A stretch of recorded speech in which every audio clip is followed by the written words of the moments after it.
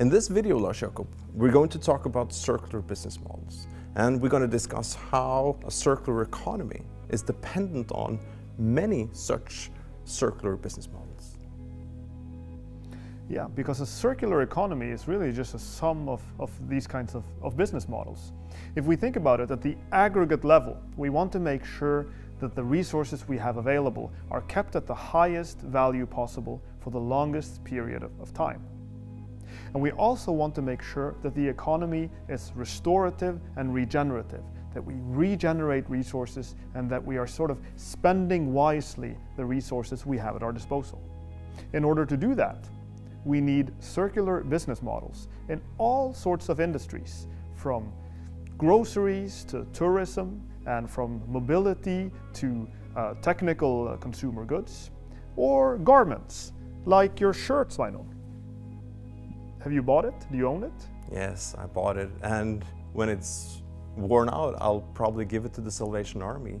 Hopefully, they will use it and it can be reused by someone, uh, or it will be recycled or hopefully upcycled if, if it's possible.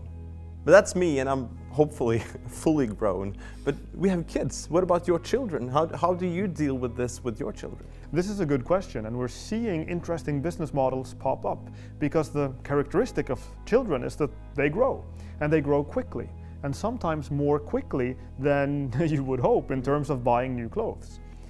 That opens the space for a circular business model for children's garments, and we're seeing that happening, Sveinung. Because one thing is, is Fretex, and, and they're part of a circular economy. They reuse uh, clothes or they recycle them. But with kids here who grow, and, and when you need new clothes and new garments all the time, especially here in Bergen with all the rain, that opens for business models like what we're seeing now, where you instead of buying the clothes for ownership, you can really pay in a sort of subscription uh, based model where you get access to the clothes that are the size of your child. And when the child grows, you can come back with the clothes and get a different size. And that, of course, means that the old clothes can be used by someone else. So, what we're looking for here when we talk about circular uh, business models are business models that create, deliver, and capture values in ways that are not extracting resources, making products, and then throwing them away. We're looking for not the linear one, but the circular one. And not only recycling, but also reusing uh, the, the, clothes again and again and again. And this last point that Sveinung is making is really about what we call cascading. We want to have business models that sort of loop the resources, the materials and the components and the products again and again and again. This can be done in lots of different ways. Uh, at the lowest level, if you will, you can recycle the garments or you can recycle the metal and the zippers or whatever. At a higher level, you can start thinking about refurbishing. This can mean something like changing the arm of a shirt if it's torn or changing the zipper of your jeans when it's broken. Many companies are now building business models around exactly this kind of refurbishing logic.